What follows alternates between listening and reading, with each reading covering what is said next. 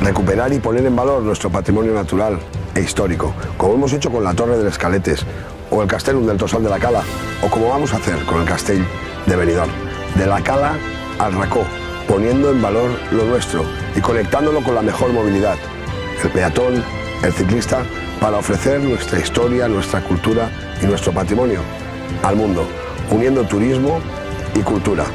Por eso ahora proponemos crear el Aula del Mar, en el corazón de la playa de Levante, para ofrecer al mundo la historia marinera de Benidorm. También vamos a crear dos museos en el Par de la Sequia Mare, el Museo del Agua y el Museo Agrícola, al aire libre. Queremos hacer aún más para que todo el mundo conozca la historia de la mejor ciudad del mundo.